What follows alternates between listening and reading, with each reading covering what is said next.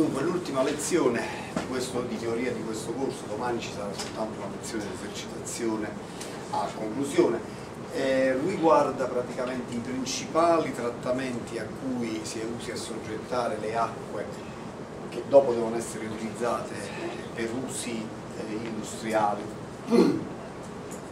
Allora, eh, per quanto riguarda le acque, il primo tipo di trattamento a cui devono essere assoggettate è la deposizione dei solidi e la separazione dei solidi che sono sospesi.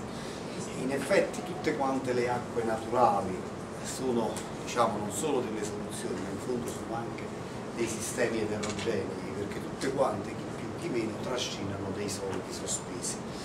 Dunque, eh, la maniera più semplice di andare a separare i solidi sospesi è la sedimentazione, cioè se uno lascia stare l'acqua tranquilla, i solidi generalmente sono più pesanti, sono più pesanti del liquido dell'acqua e vanno a fondo. La velocità con cui questi solidi sedimentano è regolata dalla legge di Stock che è scritta qui. Vedete, V è la velocità di sedimentazione, G è l'accelerazione di gravità, R è il raggio delle particelle, con 2 è la densità della particella solida, D con 1 è la densità dell'acqua, eta è la viscosità dell'acqua. Dunque, legge tiene conto del fatto che se le particelle sono molto piccole, la velocità di sedimentazione è estremamente lenta. Infatti, guardate qui, R è il raggio delle particelle, per cui se le particelle sono piccole, il raggio al quadrato diventa un numero ancora più piccolo, di talché la velocità di sedimentazione diventa ancora più piccola. Inoltre guardate qui, per alcuni solidi la differenza di densità tra il solido e il liquido è veramente molto molto piccola, perché se noi prendiamo per esempio il ferro colloidale, il ferro colloidale sono delle particelle praticamente di idrossido ferroso, idrossido ferrico che trattengono molte molecole d'acqua. La densità di queste particelle di ferro colloidale è veramente molto molto vicina a quella lì dell'acqua, così come pure delle particelle di argille che vengono trascinate dalle acque. Le argille praticamente hanno la capacità di eh, riempirsi d'acqua, di gonfiarsi con l'acqua, per cui dato che una particella di ferro colloidale, una particella di argilla sono composte anche da acqua, è chiaro che la differenza di densità sarà molto molto piccola. Pertanto, per le particelle più piccole di ferro colloidale e di argilla che sono sospesi nell'acqua, la velocità di sedimentazione è estremamente lenta e quindi questo può provocare dei problemi. Dunque, i dispositivi più semplici per le sedimentazioni sono i sedimentatori eh, orizzontali e sedimentatori verticali. I sedimentatori orizzontali come sono fatti? Sono praticamente delle grosse vasche a sezione rettangolare, vedete? Da questo lato qui praticamente, vedete qui la vasca è piena e qui praticamente arriva l'acqua che deve essere trattata. Qui vedete ci sta una canaletta di sfioro che l'acqua praticamente supera l'orlo, il bordo di quella vasca e finisce la canaletta di sfioro e stramazza nella canaletta di sfioro. Allora guardate qui, supponete praticamente, guardate che qui ci sta, viene, ci sta una particella solida, se noi andiamo praticamente a eh, tracciare il vettore che mi dà la velocità di sedimentazione, che ad esempio è questa qui, e andiamo a tracciare praticamente il vettore che mi dà la velocità con cui praticamente questo liquido attraversa la vasca, attraversa orientalizzalmente la vasca. Noi andiamo a comporre questi due vettori, andando a fare la composizione dei vettori, quindi andando a fare la somma vettoriale, esce praticamente un vettore di questo tipo. Come potete vedere, se voi andate a prolungare questo vettore, questo vettore, il prolungamento di questo vettore andrà a impattare col fondo della vasca. Questo che significa? Significa che la particella si depositerà sul fondo della vasca e ce la ritroveremo qui. Se invece, guardate qui, la particella è molto molto piccola, per cui la velocità di sedimentazione è qualcosa del genere, molto molto piccola, andando a fare la composizione dei vettori, abbiamo un vettore velocità composto che andandolo a prolungare va a impattare contro la parete verticale della vasca. In questo caso qui che succederà? Succederà praticamente che una volta arrivato qui questa particella risalirà e ce l'andremo a ritrovare da quest'altro lato qui. Diciamo che i sedimentatori orizzontali hanno il pregio della loro grande semplicità, ma se vogliamo andare a separare una congrua quantità di solidi, la velocità con cui quest'acqua deve attraversare la vasca deve essere veramente molto molto bassa e quindi con tempi di ritenzione molto lunghi. Comunque le particelle più grandi finiscono sempre per passare. Funzionano meglio i sedimentatori verticali. Vediamo come sono fatti i sedimentatori verticali.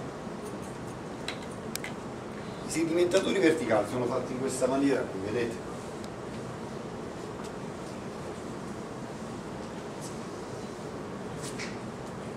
diciamo questo è il pelo libero della vasca. Qui ci sta praticamente la canaletta di spiolo e superato diciamo, il bordo della vasca stramazza qui praticamente viene alimentata l'acqua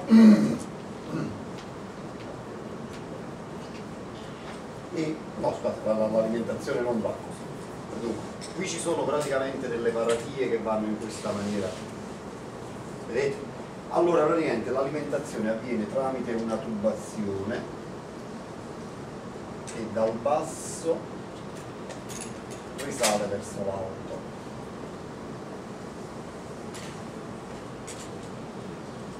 Allora l'acqua praticamente deve uscire da qui, poi deve andare a scendere verso il basso, poi dovrà riscendere verso il basso un'altra volta, poi scenderà verso il basso, scenderà verso il basso, scenderà verso il basso, poi finite praticamente le paratie potrà ricominciare a salire verso l'alto, sale verso l'alto, sale verso l'alto e sale verso l'alto.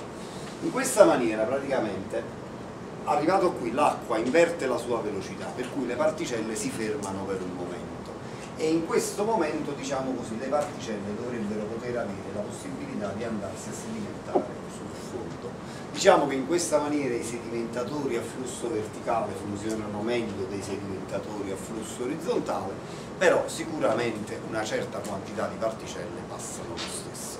Diciamo che se si vuole un abbattimento più spinto dei solidi sospesi e diciamo che per le acque industriali, le acque industriali essenzialmente a cosa servono? Le acque industriali servono praticamente all'alimentazione delle caldaie le caldaie che poi servono a produrre il vapore che alimenta le turbine a vapore. Diciamo, le turbine a vapore sono diciamo, una apparecchiatura che nell'industria viene utilizzata spessissimo, dovunque diciamo così, eh, c'è bisogno di andare a trasformare dell'energia meccanica in energia, in energia, in energia elettrica, praticamente l'energia meccanica eh, oppure dell'energia termica, scusate, dell'energia elettrica, si produce praticamente del vapore acqueo, col vapore acqueo si alimenta la turbina, il moto della turbina viene utilizzato per far muovere la dinamo e l'alternatore e così si produce l'energia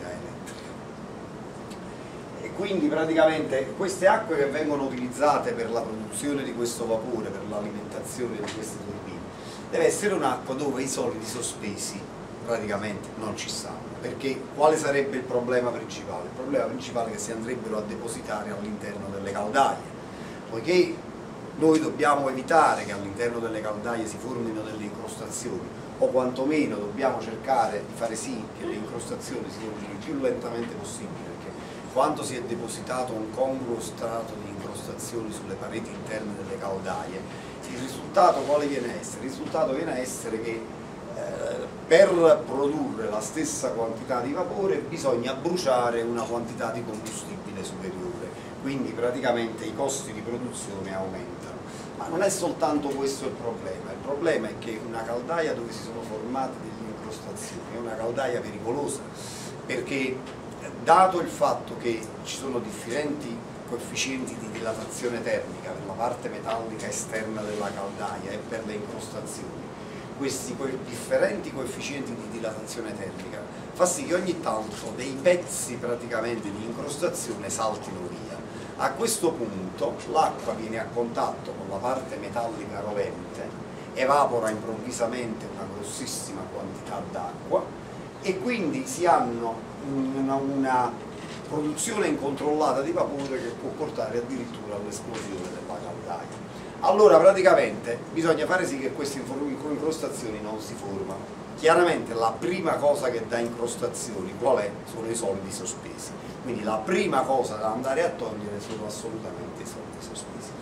Pertanto se tramite questi due trattamenti qui il grado di eliminazione dei solidi sospesi non è sufficiente, si utilizza un trattamento di coagulazione. Cioè che cosa si fa? Praticamente si aggiunge un elettrolita all'acqua. La funzione di questo elettrolita qual è? È quella lì praticamente di passare in soluzione. Passando in soluzione con la carica degli ioni di cui è composto, va a neutralizzare la carica elettrica che spesso hanno le particelle colloidali. Diciamo, queste particelle colloidali che hanno dimensioni molto molto piccole non si riescono a ingrandire spesso perché? perché queste particelle colloidali sono tutte quante caricate elettricamente negativamente, quindi si respingono fra di loro e non riescono a raggrupparsi a formare delle particelle più grosse. Pertanto, tramite la dissoluzione di questo coagulante, che è praticamente, solitamente si usa o il solfato di alluminio Al2SO4 preso tre volte, o il solfato di ferro, sempre ferro 3 Fe2SO4 preso tre volte, noi abbiamo che già il passaggio in soluzione di questo elettrolita neutralizza la carica elettrica negativa di cui sono caricate molte delle particelle colloidali e favorisce il processo di aggregazione di tante piccole particelle colloidali in alcune particelle colloidali più grosse che sedimentano più facilmente. Quando poi vedete l'aggiunta la, di questo elettrolita all'acqua fa sì che l'elettrolita reagisca con la durezza temporanea dell'acqua vedete l'idrogeno carbonato di calcio praticamente rappresenta la parte di durezza temporanea dell'acqua stessa.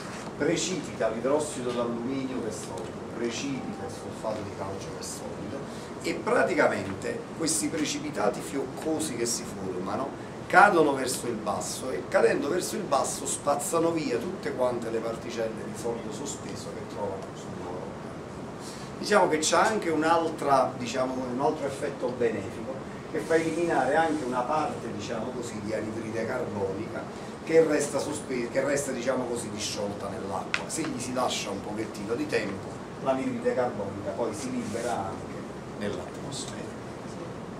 Diciamo se l'eliminazione delle particelle disciolte deve essere ancora più spinta, allora l'unica possibilità che si può utilizzare è quella dei filtri. Questi filtri come sono fatti? I filtri praticamente sono dei cilindri, vedete?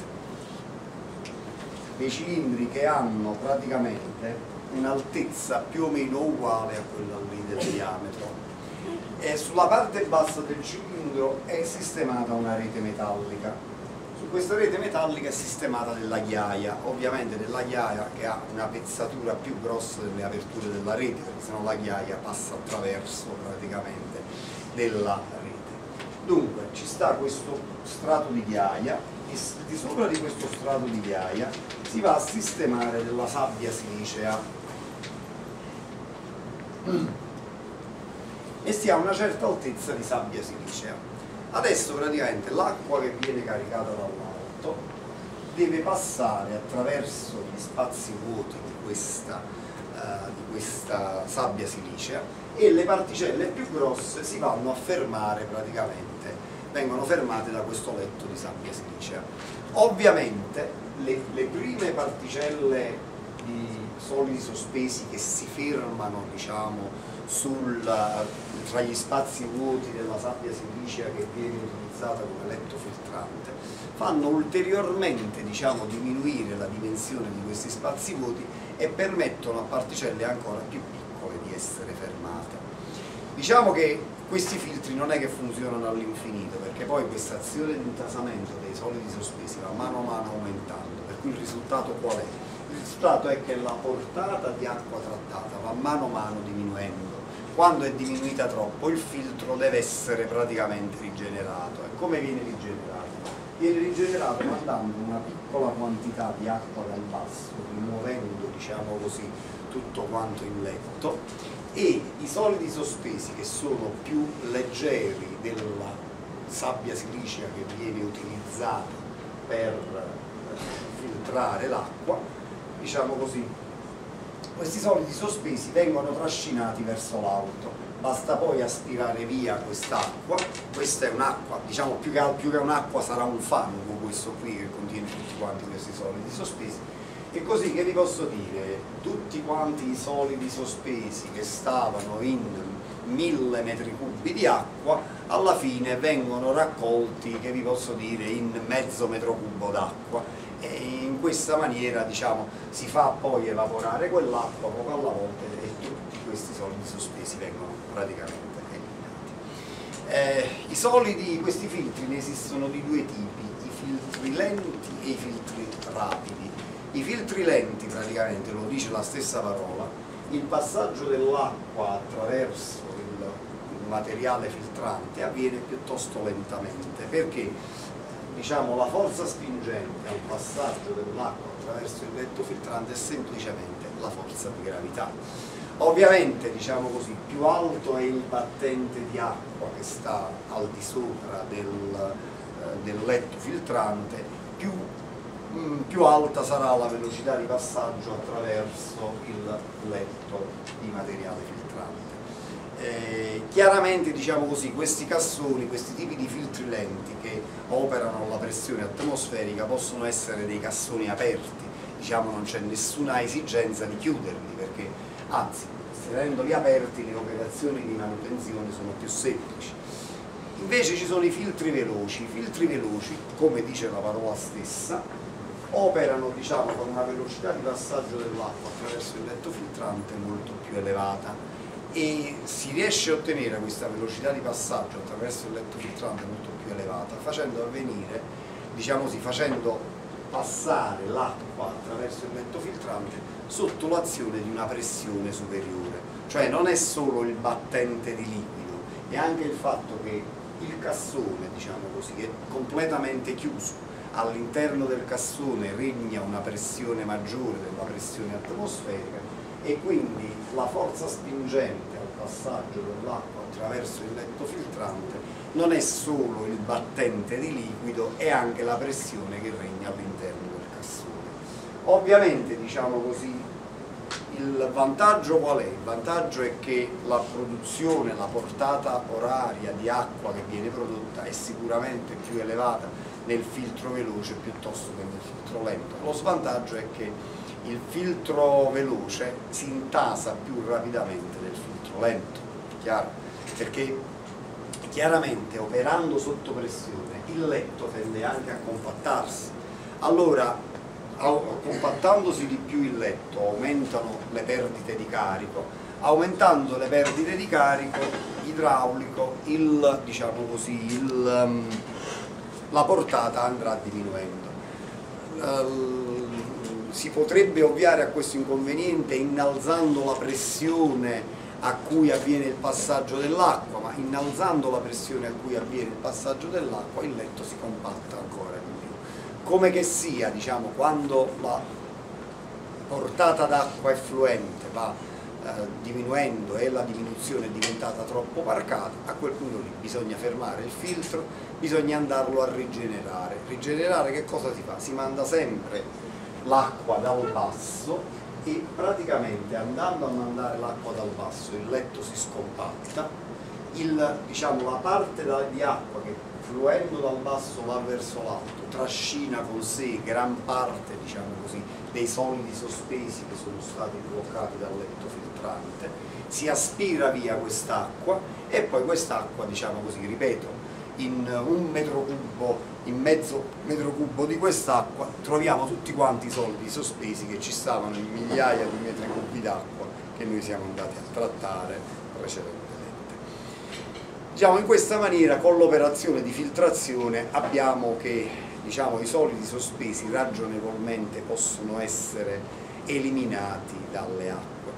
Adesso però è necessaria anche una diciamo, eh, o di drastica diminuzione o totale rimozione anche dei solidi che sono disciolti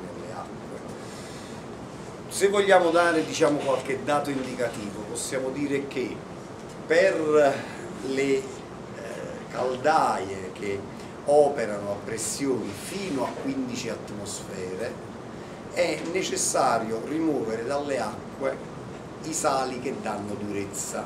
Diciamo che per queste caldaie che operano a pressione fino a 15 atmosfere è permessa una durezza massima dell'acqua di circa un grado francese. Diciamo gli altri solidi sospesi che non danno durezza, quindi che vi posso dire, gli ioni sodio, gli ioni potassio, che vi ho detto praticamente tutti quanti i sali di sodio e i sali di potassio, sono tutti quanti dei sali molto molto solubili, per cui praticamente non precipitano, cioè la solubilità dei sali di sodio e dei sali di potassio è qualcosa come 200-300 grammi per litro, quindi prima che precipitano quelli. Quindi, ripeto, per le caldaie operanti a bassa pressione, per bassa pressione intendo pressioni fino a 15 atmosfere, eh, si, deve, si, devono eliminare soltanto i sali che danno durezza, anzi un pochino pochino di durezza fino a un grado francese è addirittura permessa e diciamo i sali invece che non danno durezza ce li possiamo pure tenere. Invece quando si deve operare in caldaie che operano ad alta pressione, con alta pressione intendo superiori a 15 atmosfere, si può arrivare anche a 100, 150, 200 atmosfere, è necessario andare a rimuovere tutti quanti i soldi sospesi.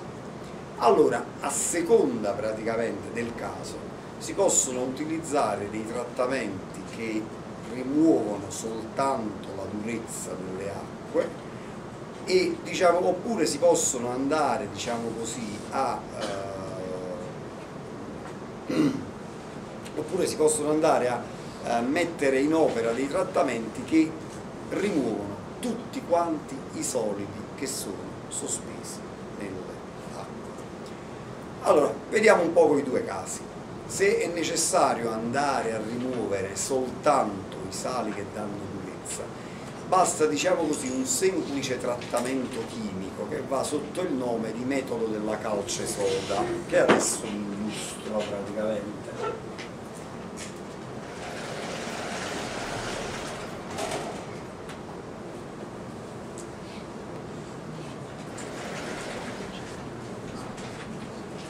Dunque, la calce è il nome d'uso praticamente dell'idrossido di calcio che ha formula CaOH preso due volte, mentre invece la soda è il nome d'uso del carbonato di sodio che ha formula Na2CO3.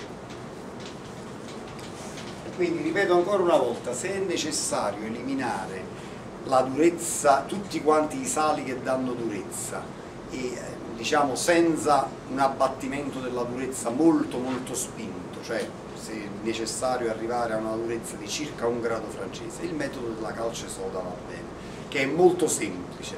Perché? Perché praticamente consta semplicemente nell'aggiunta alle acque di una congrua quantità di calce e di soda nella lezione di esercitazione che farete domani farete proprio un calcolo, diciamo così, un esempio di calcolo della quantità di calcio e quantità di soda che è necessaria per abbattere la durezza temporanea e permanente di un'acqua che ha certe particolari caratteristiche di durezza.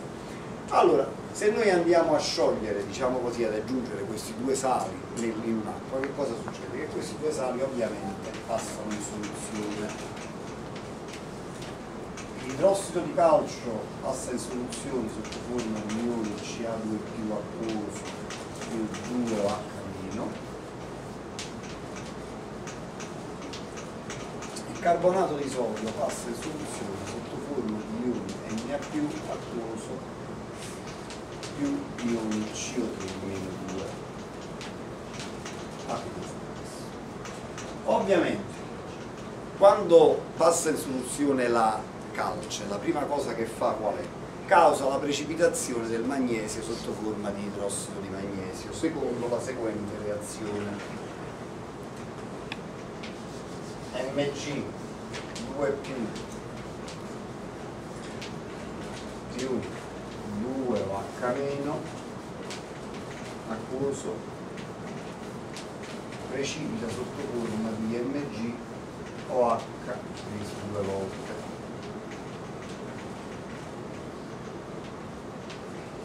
Quindi causa immediatamente la precipitazione dell'idrossido di magnesio. Eliminiamo il magnesio, però è come se sostituissimo il magnesio col calcio, perché praticamente il calcio comunque resta in soluzione. Per quanto riguarda il calcio, per quanto riguarda la durezza temporanea legata al calcio, che cosa succede? Questo ione ossidrile va, diciamo così, a eh, turbare gli equilibri carbonatici delle acque, in particolare lo ione OH- acquoso reagisce con lo ione idrogeno carbonato a cui è ascrivibile la durezza temporanea dell'acqua strappa praticamente un protone allo ione idrogeno carbonato e si trasforma in H2O. Ovviamente, diciamo così, lo ione idrogeno carbonato si trasforma in ione CO3 preso due volte acquoso.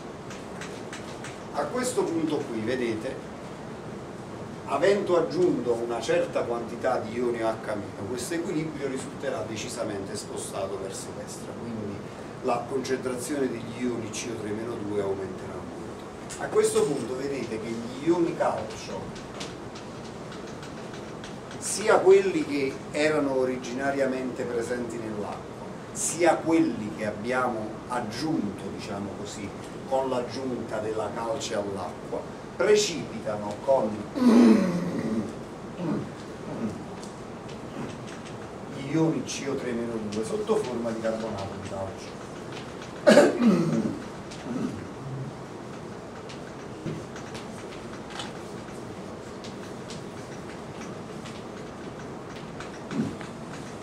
Va bene? Adesso noi abbiamo anche che diciamo, tramite l'aggiunta della calce noi ci siamo liberati della durezza magnesiaca e della durezza calcica temporanea. La durezza invece ehm, eh, calcica permanente viene eliminata per effetto della soda perché vedete il calcio che è presente in soluzione che diciamo è in concentrazione superiore alla concentrazione degli ioni HCO3- ovviamente quando tutti quanti gli HCO3- si sono trasformati in CO3-2 ed è precipitato tutto quanto questo CaCO3 rimarranno ancora in soluzione degli ioni Ca2+. Quegli ioni Ca2+, precipiteranno per effetto della presenza degli ioni CO3- derivanti dalla dissoluzione della soda e quindi abbiamo diciamo così, anche la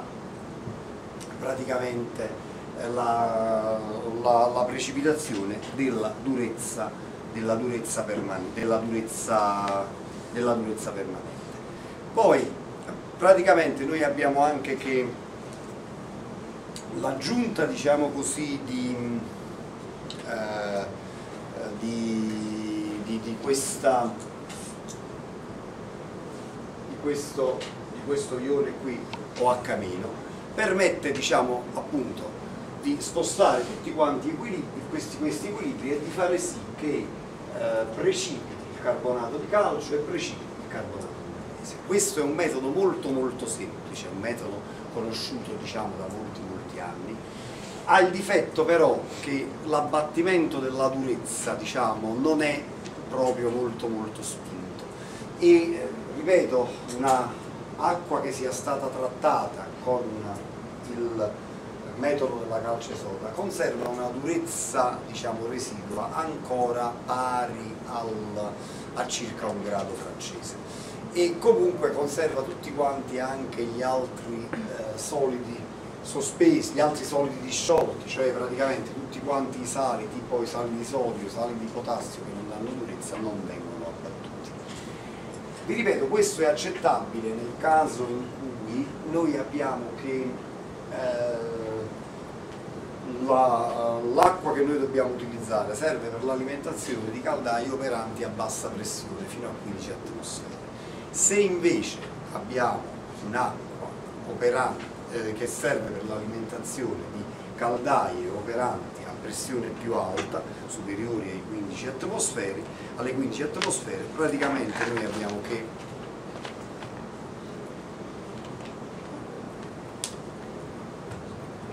è necessario diciamo, un metodo diverso di rimozione, di separazione delle sostanze disciolte.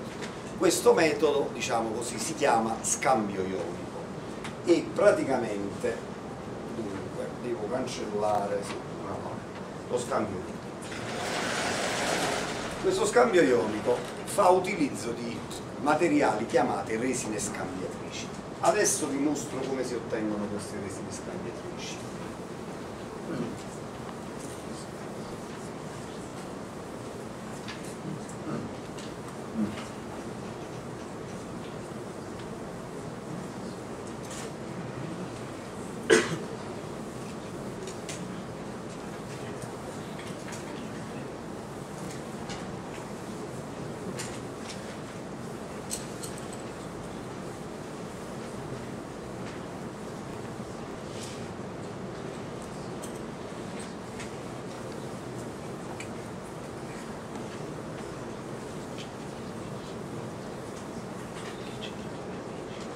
Allora, le resine scambiatrici, a vederle praticamente, sono delle palline di plastica di colore giallino-brunastro, palline di plastica della dimensione di 2-3 mm, qualche cosa del genere.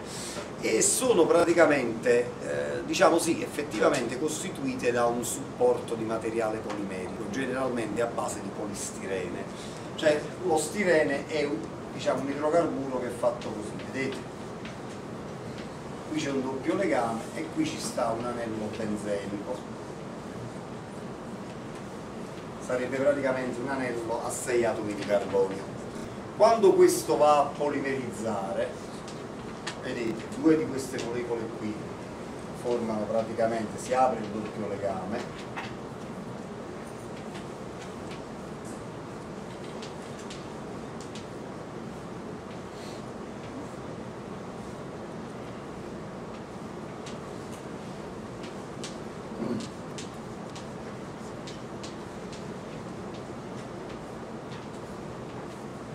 abbiamo due spezzoni di molecola così. Questi due spezzoni di molecola si uniscono fra di loro e formano un accenno di catena polimerica.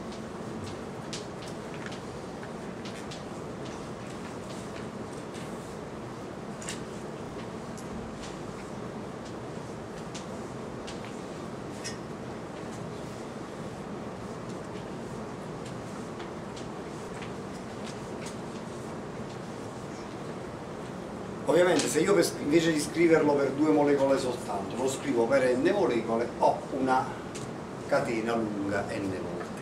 Diciamo che si mette a polimerizzare un 90% di stirene e un 10% di divinilbenzene. Il divinilbenzene, vedete, è fatto così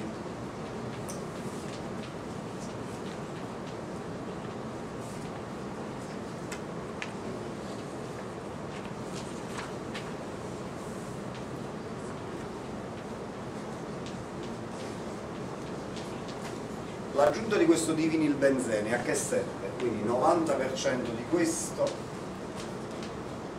e 10% di questo.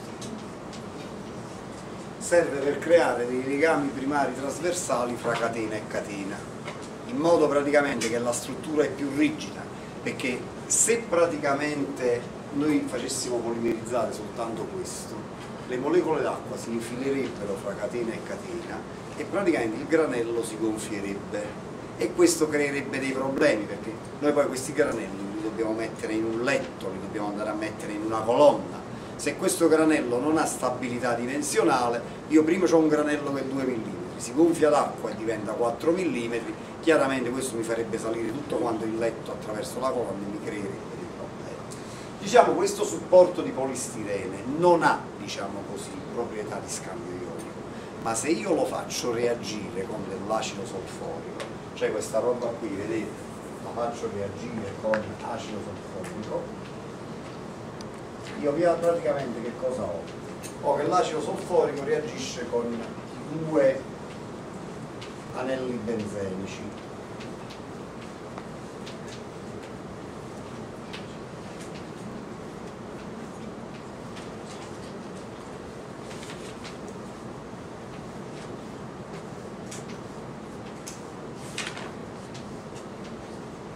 l'acido solforico si va a sistemare qui, vedete?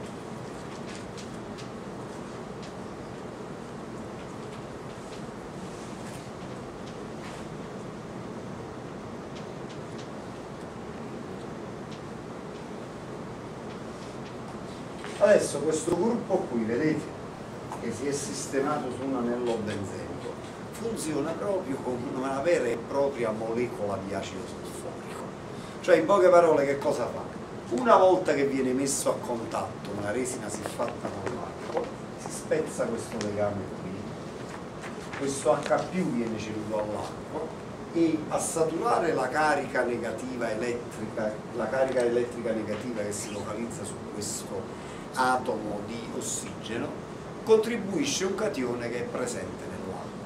Cioè se io praticamente chiamo tutto diciamo così questa resina R, vedete? Tutto questo, tutto questo pezzo qui R, vedete? Lo chiamo indico con R. Qui che cosa ci rimane soltanto? Ci rimane soltanto H. Quindi la reazione che si viene nella pratica a verificare è RH più Na che per esempio è disciolto nell'acqua, reagisce, si mette in equilibrio con RNA più H Cioè RH si trova allo stato solido, Na si trova allo stato acquoso, RNA si trova allo stato solido, H si trova allo stato acquoso. Cioè l'effetto praticamente questa reazione chimica è stata praticamente che originariamente il sodio stava nell'acqua e l'H stava nella resina, alla fine della reazione noi abbiamo che il sodio è finito nella resina e l'H è finito nell'acqua. Se ad esempio devi andare a sostituire un catione bivalente nell'acqua, tipo il calcio, diciamo dobbiamo semplicemente andare a correggere la stechiometria della reazione, ma il risultato è esattamente lo stesso. Possiamo andare a mettere un 2RH più Ca2 più qui abbiamo R2Ca più 2H bene? Anche qui solido anche qui acquoso anche qui solido e anche qui acquoso bene? Adesso un ragionamento del genere si può fare anche per le resine anioniche diciamo, non vi sto a spiegare i passaggi tramite i quali diciamo, si introduce il gruppo che ha proprietà di scambio anionico nella resina. Il risultato qual è? È lo stesso, cioè in poche parole si ottiene una catena polimerica più o meno di questo tipo qui e alla fine praticamente di questa catena polimerica ci sta legato un ione ossidrile. Ione ossidrile che può essere scambiato con gli anioni che sono presenti sopra quindi la reazione che si verifica per lo scambio anionico è ROH solido più CL acquoso si mette in equilibrio con RCl solido più OH acquoso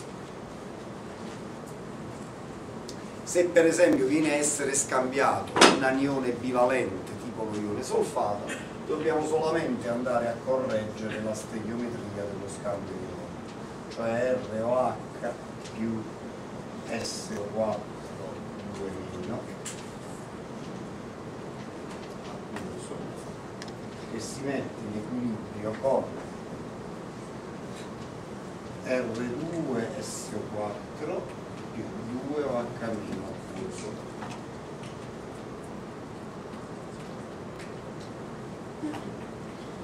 praticamente quando questa resina, quest'acqua passa attraverso un letto di resina di scambio cationico, diciamo che tutti quanti i cationi vengono sostituiti da ioni H, quindi l'acqua diventa acida.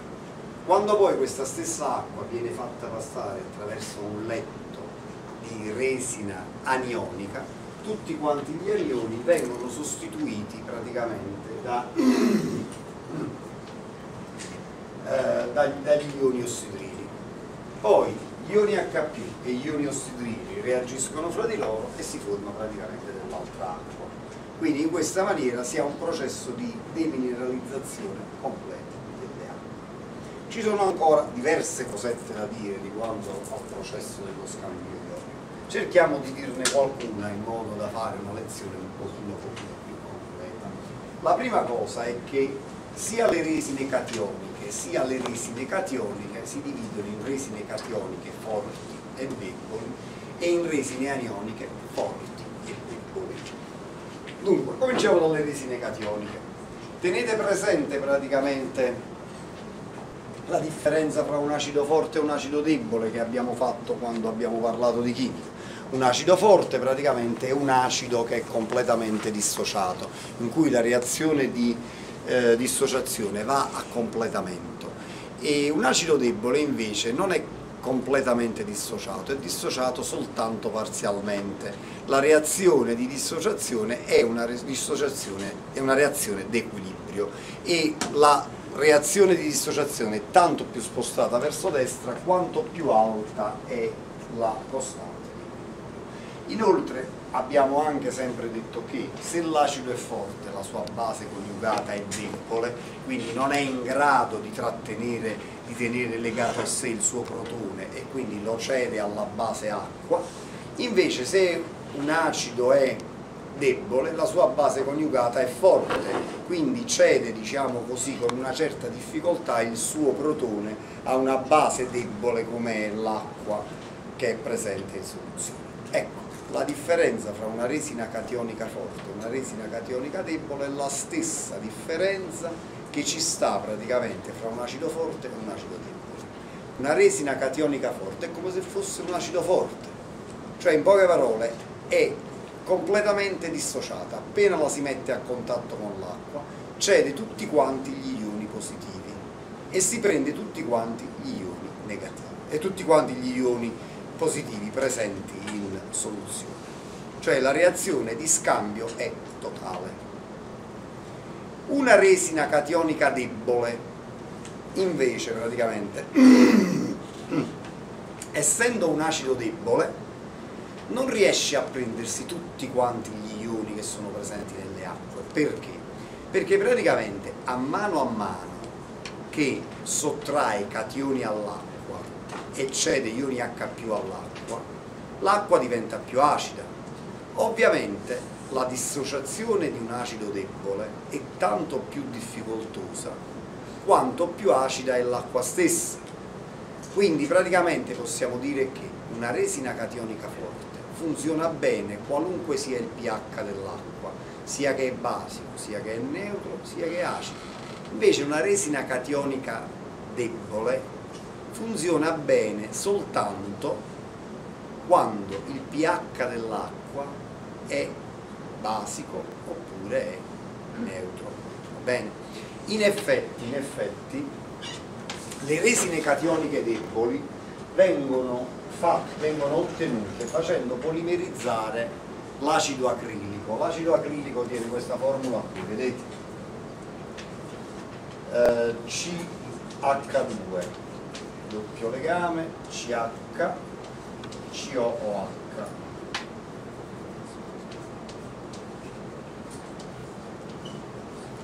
Questo COH non ve lo ricordate, non tiene una faccia conosciuta.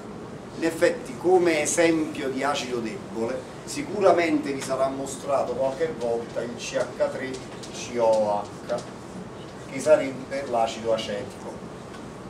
Cioè in poche parole questo gruppo qui il carbossile è chiamato ha proprietà acide ma è un acido debole se si fa polimerizzare l'acido acrilico praticamente quello che si ottiene che cos'è? che una catena polimerica si fatta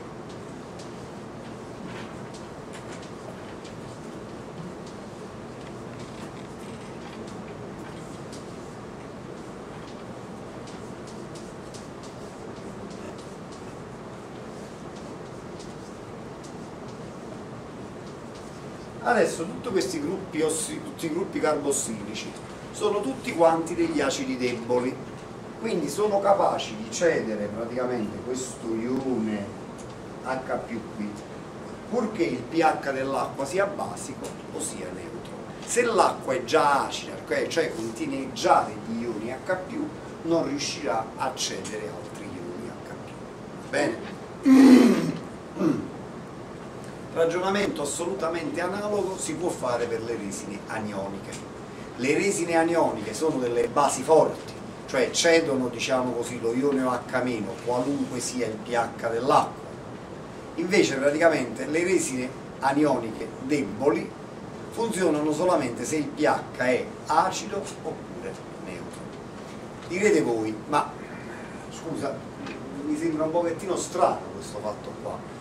Se praticamente io ho delle resine cationiche forti che funzionano bene in qualunque caso, poi ho le resine cationiche deboli che funzionano bene solo se l'ambiente è basico oppure neutro, se acido non funzionano più. Allora, tu perché mi vieni a proporre queste resine cationiche deboli quando ci sono quelle là forti che funzionano sempre bene? È una questione di costi? Non è una questione di costi.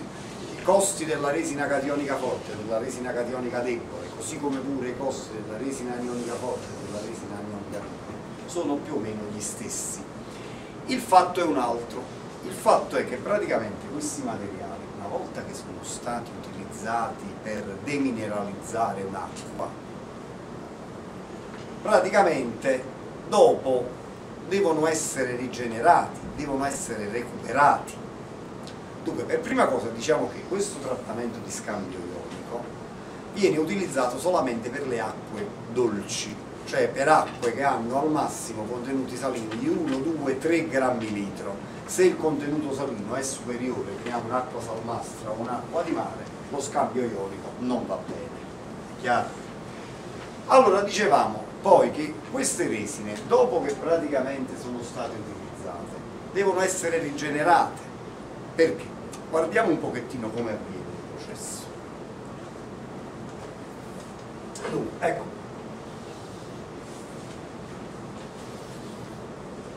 Queste resine trovano alloggiamento in delle colonne queste colonne cosa sono? Sono dei recipienti cilindrici, soliti recipienti cilindrici che abbiamo descritto anche prima, che hanno un'altezza poco superiore a quella lì del diametro.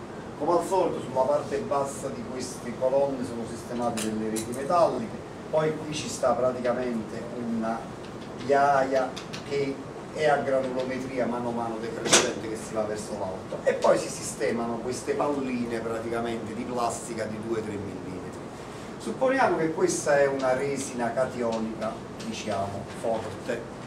L'acqua viene fatta piovere dall'alto, sotto l'azione praticamente della gravità passa attraverso questo letto e esce da quest'altro lato qui. Supponiamo che questa è una resina cationika forte, noi che cosa abbiamo? Abbiamo praticamente, vedete, che si è verificata questa reazione qui. Per cui praticamente tutti quanti i cationi che escono alla fine sono diciamo tutti quanti rimasti all'interno della colonna e praticamente qui esce soltanto acqua con ioni H che hanno sostituito diciamo, tutti quanti i cationi che sono presenti sulla colonna. Ma questa colonna può funzionare all'infinito? Ovviamente no, perché? Perché praticamente queste palline ognuna di queste palline avrà un certo numero di siti dove ci stanno questi ioni H+. Ogni ione H+, che viene ceduto viene sostituito da uno ione Na+, oppure che vi posso dire due ioni H+, vengono sostituiti da uno ione Ca++, ma poi poco alla volta vengono sostituiti tutti quanti gli ioni H+, che sono presenti, diciamo, nella, nella colonna stessa quando più o meno gran parte di questi ioni o, o tutti quanti questi ioni H sono stati sostituiti, che cosa succede? Succede praticamente che la resina ha esaurito la sua capacità di scambio. E questi cationi, vedete, Na Ca2 cominciano a uscire dall'altro lato della, della, della Dunque, la capacità di scambio è una grandezza che viene generalmente misurata, capacità di scambio, eh, si indica generalmente con C, in milli equivalenti per per, per grammo, scusate. L'equivalente che sarebbe? Dunque, eh, milli vuol dire praticamente un millesimo. Dunque, l'equivalente è lo stesso della mole, soltanto praticamente che cosa significa? Se praticamente quel catione ha valenza 1, equivalente e mole sono la stessa cosa.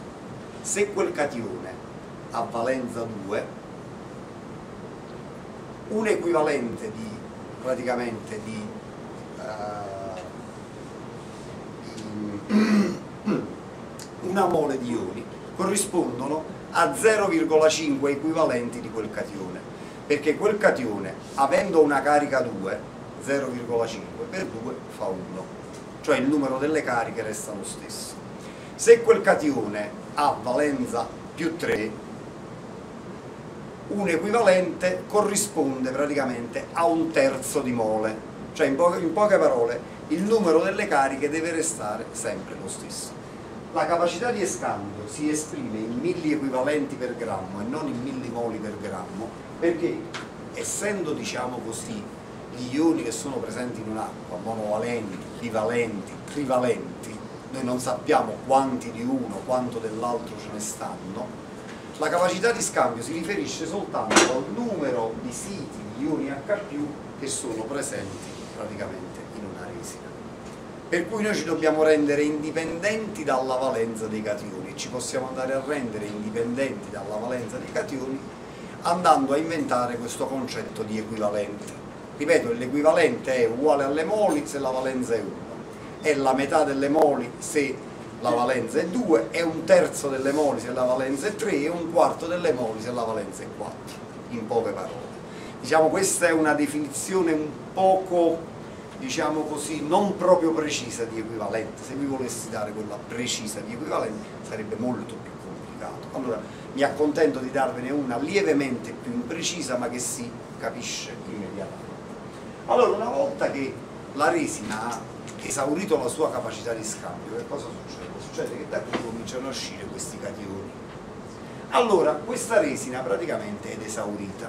La resina quando è esaurita non viene buttata via, perché praticamente è un materiale che comunque ha un suo certo costo e, e quindi se noi per andare diciamo, a demineralizzare un'acqua dovessimo ogni volta andare a buttare tutto quanto le resine quest'acqua demineralizzata ci costerebbe un sacco di soldi inoltre essendo questa una, maniera, una materia plastica questa darebbe anche problemi di smaltimento cioè dovremmo andarla a buttare in una discarica e quindi costerebbe anche il suo smaltimento invece l'acqua viene rigenerata.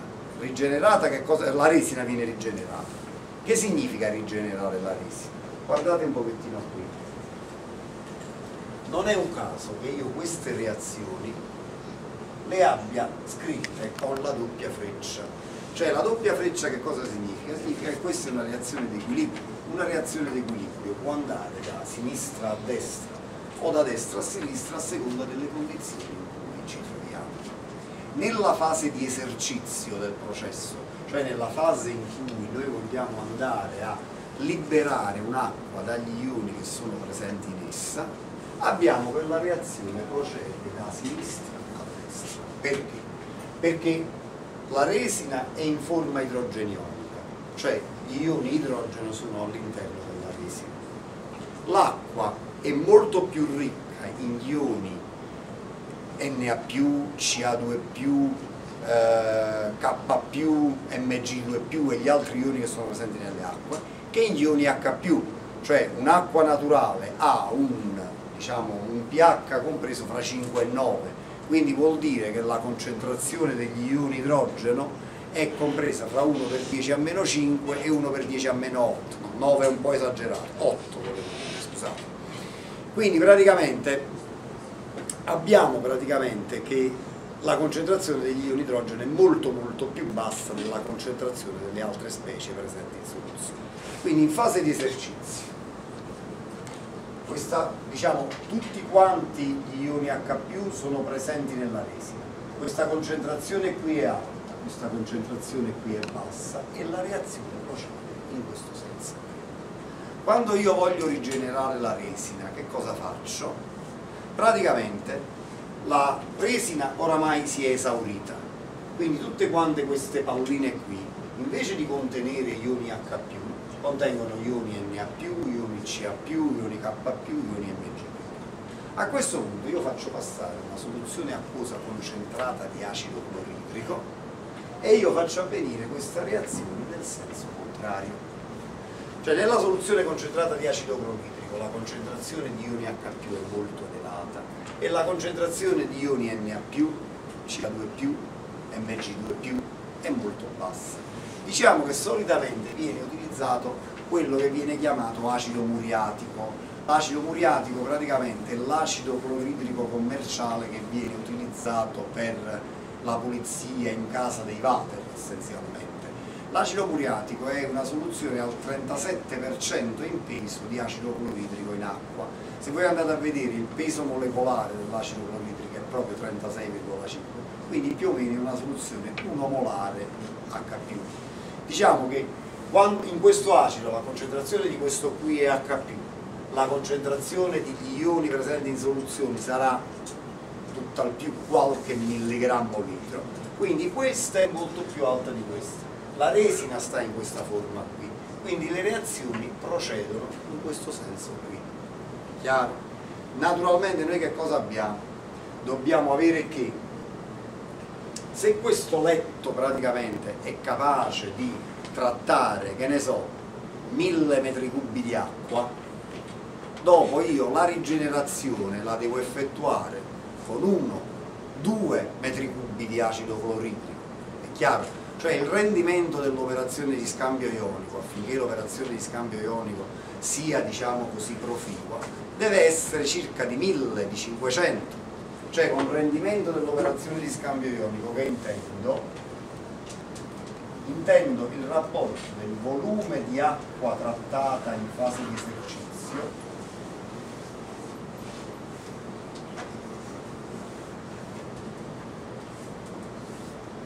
fratto il volume di rigenerante usato.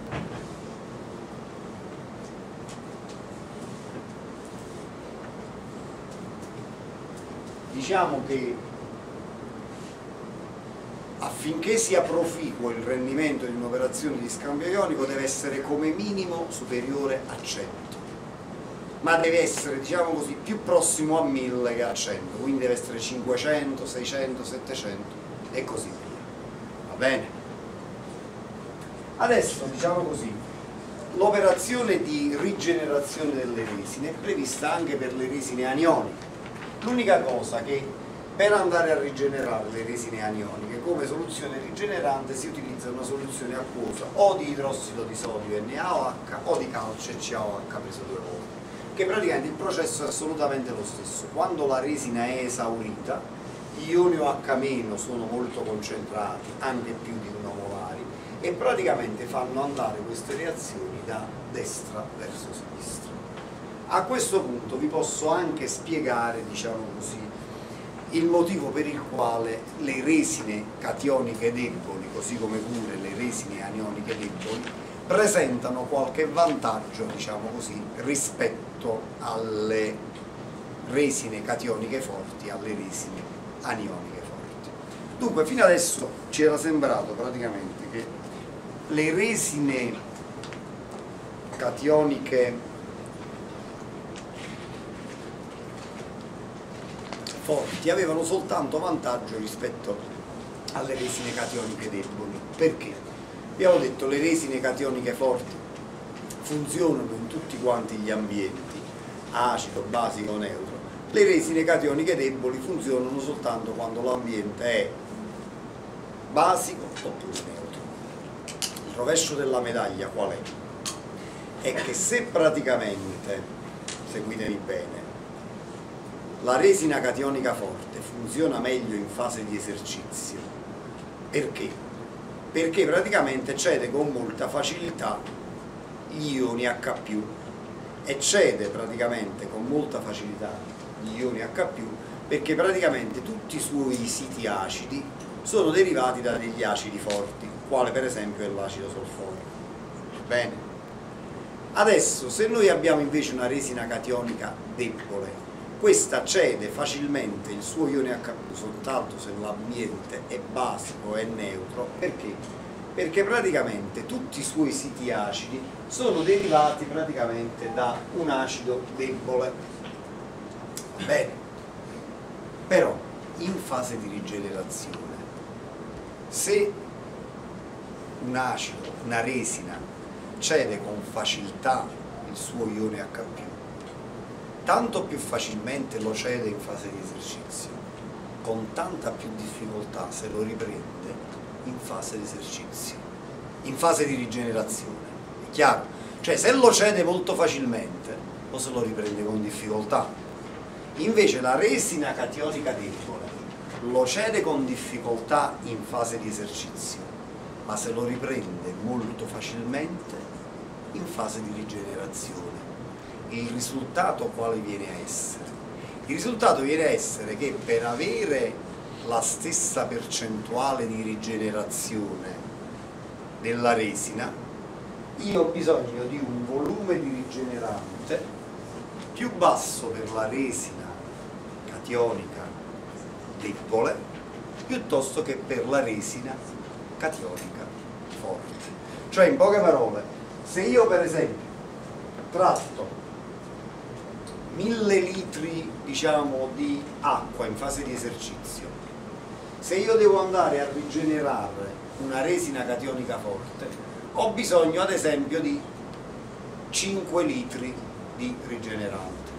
Quindi rendimento 1000 diviso 5, 200. Se io invece tratto, diciamo così, una, una quantità di resina che mi permette di trattare 1000 litri di acqua con una resina cationika debole, io di volume di rigenerante invece di 5 litri ho bisogno di un solo litro.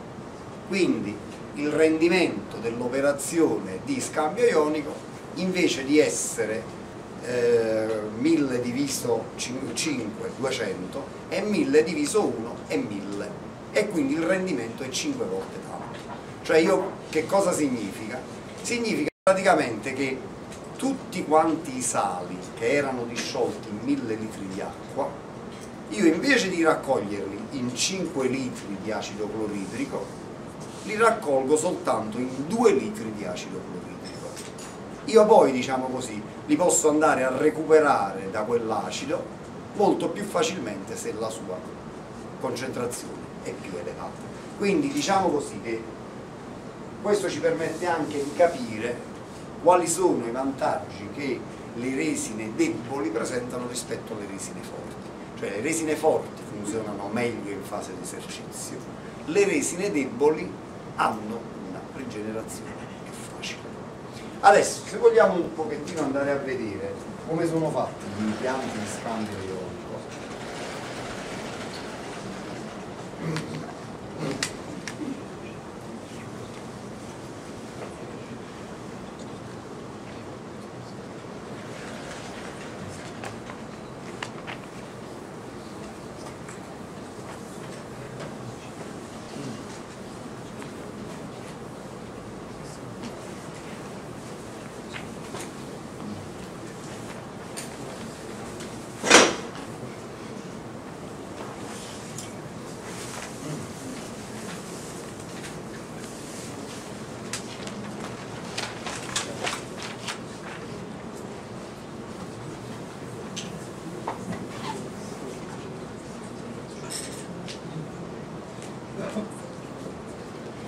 vogliamo andare a vedere un po' come sono fatti gli impianti di scambio ionico l'impianto più semplice come è fatto?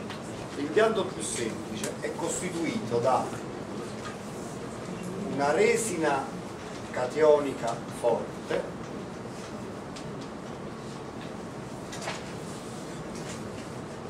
e una resina anionica forte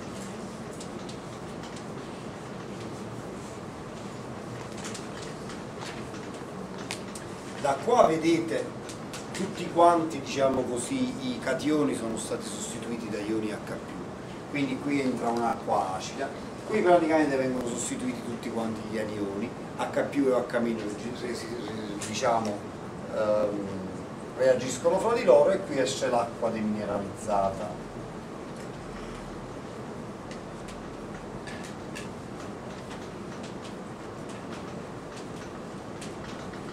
Poi quando si sono esaurite le due resine bisogna andare a effettuare questa operazione di rigenerazione la resina anionica, eh, cationika forte viene rigenerata con l'acido cloridrico concentrato, la resina anionica forte viene rigenerata con l'idrossido di sodio, con la soluzione di idrossido di sodio concentrato. Vedete poi si fa sempre un poco fluire un poco di acqua dal basso, perché? Per scompattare il letto e quindi per diminuire le perdite di carico. Poi vedete una colonna di scambio ionico vi elimina anche un pochettino i solidi sospesi che ancora rimangono quindi diciamo così, l'acqua che si fa fluire dal basso serve anche, diciamo così, non solo a scompattare, a portare via pure i soldi sospesi che si sono fermati in alto. Diciamo che se si vuole andare, diciamo così, a fare un impianto più completo che permetta, diciamo, una maggiore economicità nella sua gestione, l'impianto completo di scambio ionico è fatto in questa maniera. Prima ci sta una resina cationika debole poi l'acqua che esce da qua viene mandata una colonna dove c'è una resina cationika forte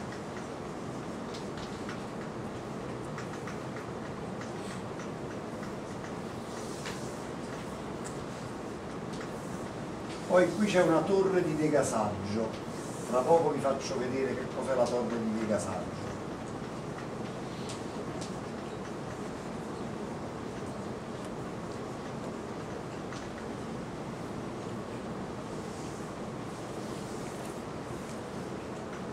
Poi qui c'è una resina, in quest'altra colonna c'è una resina anionica debole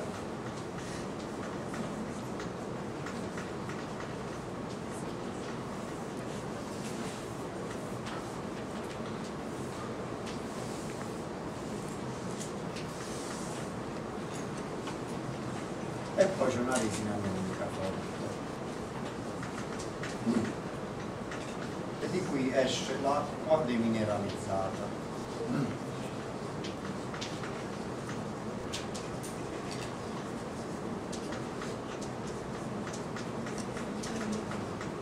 Allora, vediamo un pochettino come funziona questo impianto.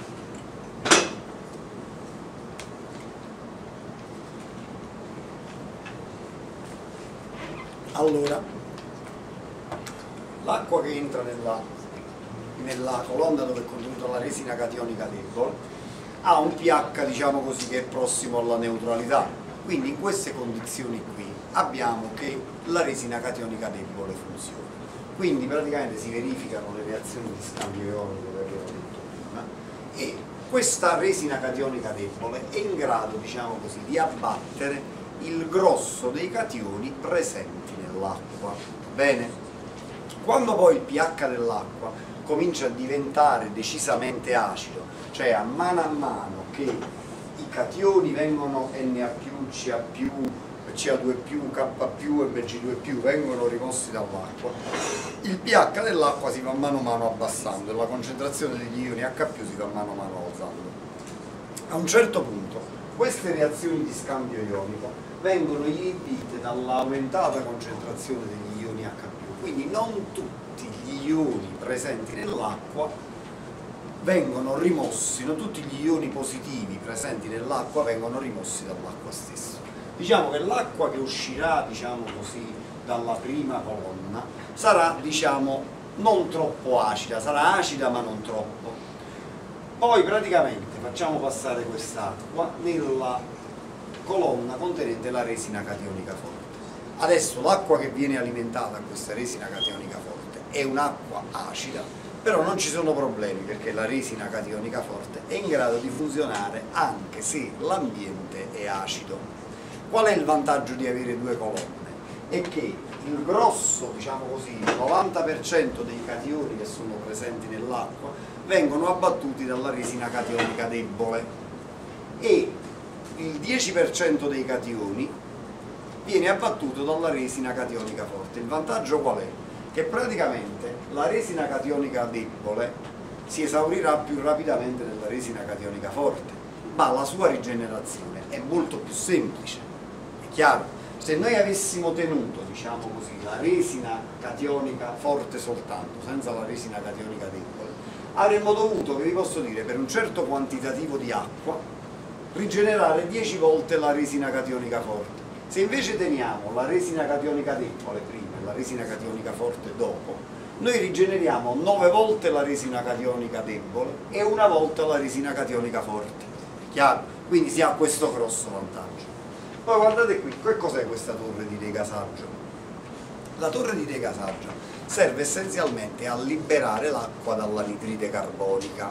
Dunque le torri di degasaggio, ripeto, vengono utilizzate anche quando è necessario andarsi a liberare dalla nitride carbonica dell'acqua, perché eh, per esempio in molte applicazioni bisogna andare a rimuovere i gas che sono disciolti nelle acque stesse vi ho sempre detto che l'anidride carbonica è presente in misura abbastanza marcata nelle acque, anzi vi ho detto che generalmente tutte quante le acque naturali risultano essere sovrassature rispetto alla quantità di anidride carbonica che secondo la legge di Henry si dovrebbe sciogliere nelle acque alla pressione parziale a cui l'anidride carbonica è presente nell'atmosfera per il motivo molto semplice che l'anidride carbonica presente nelle acque deriva dalla decomposizione degli organismi viventi, cioè il prodotto finale della decomposizione degli organismi viventi e della decomposizione delle sostanze che sono legate al metabolismo degli organismi viventi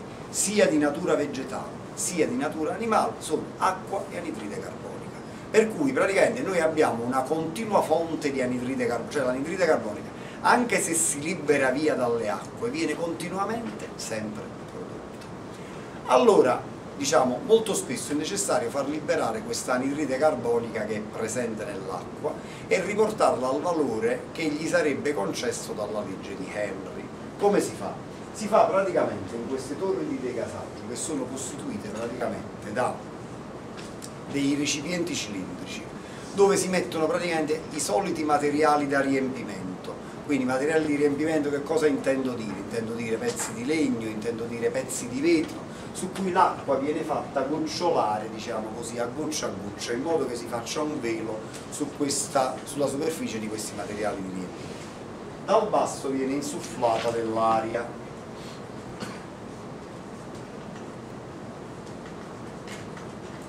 Noi che cosa abbiamo? Abbiamo praticamente che moltiplicando di tantissimo la superficie di contatto fra la fase aereiforme, aria, contenente aria, e l'acqua, noi praticamente riportiamo il valore della concentrazione dell'anidride carbonica presente nell'acqua al valore permesso dalla legge di Henry. Va bene? Quindi ci liberiamo di tutta quanta l'anidride carbonica.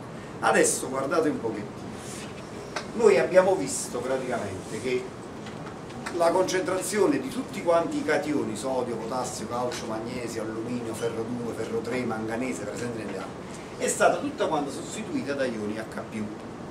Questi ioni H+, la prima cosa che faranno quando sono presenti nell'acqua è quella là di andare a reagire con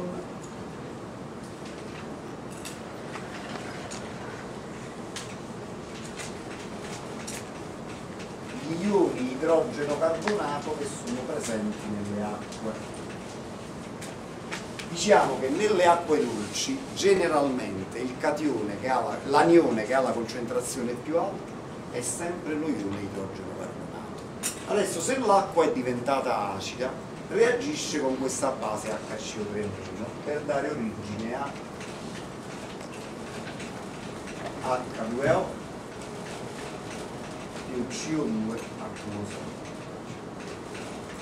Quindi la concentrazione di anidride carbonica sarà particolarmente alta non solo perché l'anidride carbonica era originariamente già presente nell'acqua, ma anche perché nel corso di questo scambio ionico dei cationi da parte degli ioni H si è prodotta dell'altra anidride carbonica per effetto della reazione degli ioni H con gli ioni idrogeno carbonato però ci sta anche un vantaggio io tramite questa reazione qui mi riesco a liberare di quasi tutto lo ione idrogeno carbonato che è presente nell'acqua quindi poiché ripeto spesso nelle acque dolci l'anione che ha la concentrazione più alta è proprio lo ione idrogeno carbonato, noi riusciamo, diciamo così, in questa maniera a liberarci di una grossa parte. Poi il resto degli anioni dove vengono, dove vengono rimossi? Vengono rimossi nella colonna in cui è tenuta la resina anionica debole e poi, poiché a un certo punto diciamo il pH comincia a diventare più prossimo alla neutralità, per toglierci l'ultima traccia degli anioni presenti in soluzione, diciamo così, vengono eh, l'ultima traccia di, ioni, di anioni presenti in soluzione viene rimossa in una resina contenente praticamente soltanto della resina anionica forte. In effetti all'uscita del letto dove è contenuta la resina anionica debole, l'unico anione che effettivamente è rimasto è soltanto lo ione triidrogenosilicato H3SO4-. Diciamo che se ci sta una torre di degasaggio si potrebbe anche utilizzare una sola di queste due torri qui, di queste due sole, queste colonne qui. O soltanto quella là contenente la resina anionica debole che ha una rigenerazione più semplice ma che non è capace di andarmi a togliere questo ione triidrogeno silicato. Oppure soltanto una resina anionica forte che mi toglie tutti quanti gli ioni ma che questo non riesce a togliere. Va bene? Un'ultima cosetta vi volevo dire eh, diciamo che ci, essere, possono esistere a volte per esempio nei laboratori chimici degli impianti molto molto semplici per la demineralizzazione delle acque. Praticamente questi impianti come sono fatti? Sono praticamente una colonna che generalmente è stretta e lunga. In questa colonna praticamente sono tenuti mescolati tra di loro granelli di resina anionica forte e granelli di resina anionica debole. Quando l'acqua praticamente entra da qua, scambia contemporaneamente gli ioni positivi Mg, 2 più, Ca 2 più, Na K con gli ioni H più della resina anionica forte e praticamente gli ioni SO4-2, HCO3- Cl- con la resina anionica debole e da qui praticamente esce un'acqua completamente demineralizzata. Generalmente questi aggeggini da laboratorio, per farti capire quando è che la resina funziona ancora, sono equipaggiati praticamente con una lampadina. Questa lampadina praticamente riceve la corrente che passa attraverso l'acqua che viene demineralizzata. Se l'acqua è completamente demineralizzata, la conducibilità elettrica dell'acqua diventa bassissima e quindi praticamente la lampadina non riesce proprio ad accendersi. Quando la resina comincia ad esaurirsi, gli ioni entrano dall'alto escono dal basso e quindi la conducibilità elettrica dell'acqua aumenta. Aumentando la conducibilità elettrica dell'acqua, la corrente che arriva alla lampadina è superiore e quindi la lampadina comincia a accendersi. Quando uno vede la lampadina che si comincia a accendere dice vabbè la resina si è esaurita, bisogna andare a rigenerare la resina. Il problema è un pochino la rigenerazione diciamo così, di questa resina perché praticamente qui stanno mischiati perfettamente granelli di resina cationika debole e granelli di resina cationika forte. Io per rigenerare la resina cationika debole, la, scusate, la, la resina cationika forte ho bisogno dell'HCl e per rigenerare la resina anionica forte ho bisogno dell'NaOH e chiaramente non li posso far andare prima uno e poi l'altro perché diciamo così quello che viene rigenerato per secondo viene rigenerato, quello che viene rigenerato per primo poi non viene più rigenerato. Allora che cosa si fa?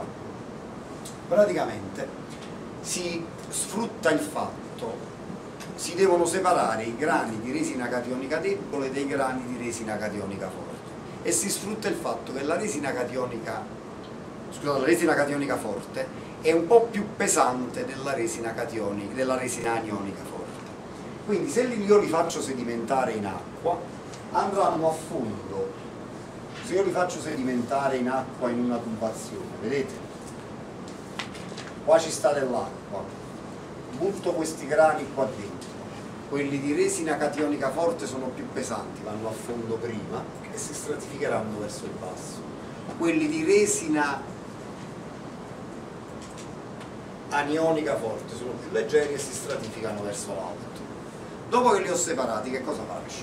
rigenero prima la resina anionica forte con la soluzione di NaOH. Dopo che ho fatto passare l'NaOH, la resina anionica forte è rigenerata in forma ROH e la resina cationika è completamente in forma sodica, RNA. Va bene? Successivamente devo rigenerare soltanto la resina cationika forte. Io faccio entrare la soluzione acquosa concentrata di acido cloridrico a partire dal livello in cui comincia a esserci la resina cationika forte. In questa maniera io da qui ci tolgo Na e ci vado a mettere H. Poi dopo le vado a rimescolare un'altra volta e posso, diciamo così, far ripartire il sistema. Va bene?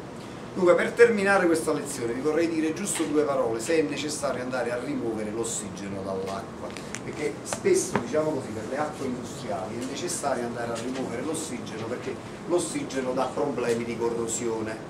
L'ossigeno è un gas fortemente ossidante, perché visto che ha una grandissima tendenza a ridursi, cioè a reagire, a strappare elettroni a qualcuno, i metalli che facilmente cedono i loro elettroni tendono a ossidarsi e l'ossigeno tende a ridursi.